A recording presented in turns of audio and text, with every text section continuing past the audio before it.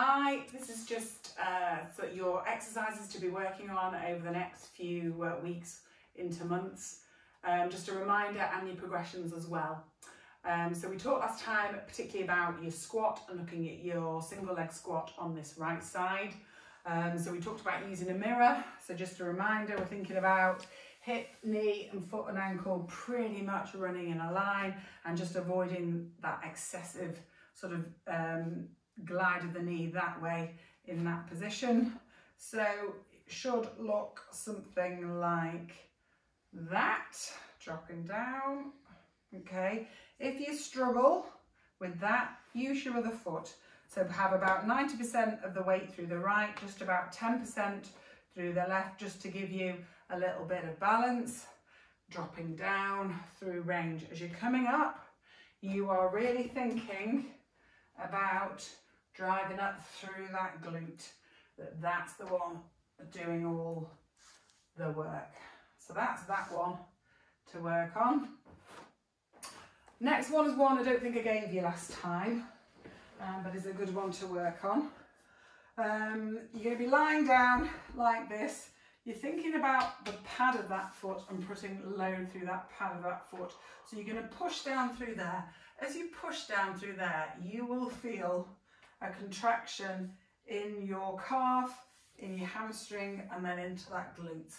And that's what we want. So you're thinking about pushing up like that, controlling that lowering down. Push up through there. Not aiming to get massively off the, um, the floor or the bed and control that lowering down. Okay, lovely. Coming on to the side, I think we had you last time doing the clam like that and I think you were finding that easier last time so we progress to lifting it up. So in this position lying on your left side knee nice and bent right leg nice and straight hand on your hip to stabilize. And what you're going to do is lift that leg up. Doesn't go up massively further than that in order to get it all the way up here. You've got to retract your hip and rotate your hip and that's not what I want. So that hand is stabilizing there you're lifting up as far as you can, hold for a few seconds, slow, controlled release to the horizontal, quick up, hold for a few seconds, slow, controlled release.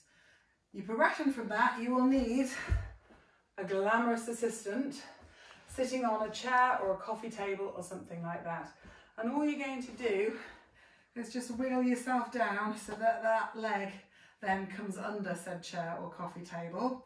So you're going to take it as far as you can and then you're going to push into that and use that as like static resistance. So to begin with, aiming for about 50% of how hard you think it, you could push it. And you hold it for a few seconds and control the lower. Up, hold for a few seconds, control the lower. All of this working to strengthen this glute and offload this muscle here that's been doing lots of work. I know last time I also gave you that stretch to do where you hook that right leg behind your left and lean in. By all means carry on with that. You can also add in an arm raise as well so you get a nice stretch all the way down.